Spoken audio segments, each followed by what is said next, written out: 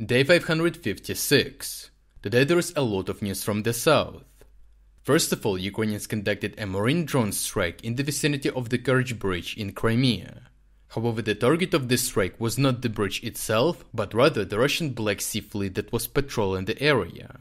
Russian sources reported that Ukrainians used three drones in their night attack on the warship at Lviv, and that one of them was close to exploding near the ship itself. Some sources mention that the drones attacked from the area with a lot of civilian ships to complicate the identification of the drone. But what is even more interesting is that Russian soldiers reported that they saw a Ukrainian aerial drone that was surveilling the area from Cape Takil. All these facts strongly indicate that the strike was organized and conducted from the territory of the Russian Federation or Crimea.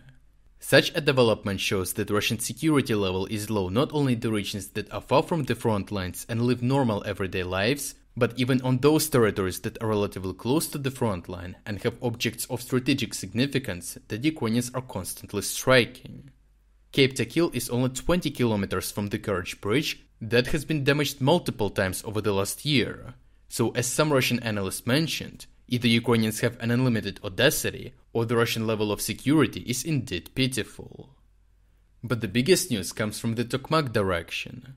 After the loss of Robotyne, Russian sources started circulating information about the Russian plans and claimed that the retreat from Robotyne was done to allow Ukrainians to get deep inside the pocket to close it in the future with as many Ukrainians as possible. Russians also conducted an information operation and released fake documents to claim that Ukrainians received an order to kill every Russian soldier that surrenders. The goal of this information operation is to scare Russian troops and force them to fight till the end instead of surrendering.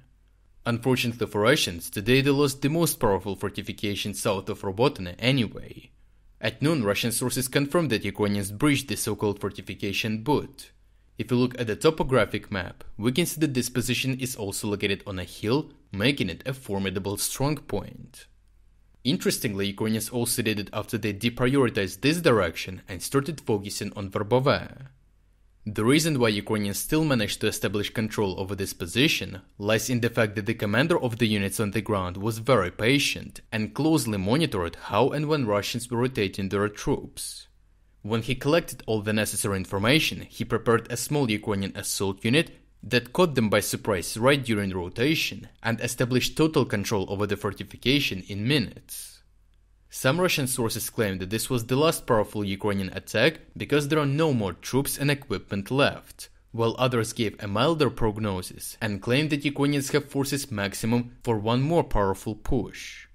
The Ukrainian side indirectly responded to this information operation by releasing a video with dozens of Western tanks, claiming that there are still a lot of resources and that Russians are yet to see a powerful attack. And this is partially true because so far Ukrainians were facing extremely dense minefields that they needed to slowly and methodically pass and demine.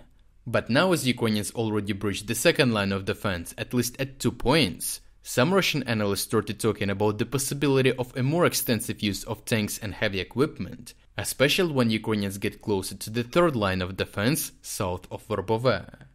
And the Russian High Command seems to understand that Russian forces may not be able to withstand the pressure, especially given that the pace of Ukrainian advancement is gradually but steadily increasing. That is why, as reported by the head of Ukrainian intelligence Kyrylo Budanov, the Russian military deployed elements of the newly formed 25th Combined Arms Army to the front. Interestingly, this new army was created as a part of a long term objective to increase the size of the military. However, due to the horrible situation on the front, Russians had to urgently send them to the front. According to Ukrainian intelligence, the 25th Combined Arms Army would not be combat ready until at least 2024. Right now, the formation is severely understaffed, not near the strength of two divisions, and on top of that, did not complete the training. The 25th Army is supposed to substitute forces in the Luhansk region, while severely degraded but at least experienced troops from the 41st Army are being deployed toward Tokmak. If you're against the invasion of Ukraine and you want to support the work that I am doing, consider making a purchase in the online store UA Supporter.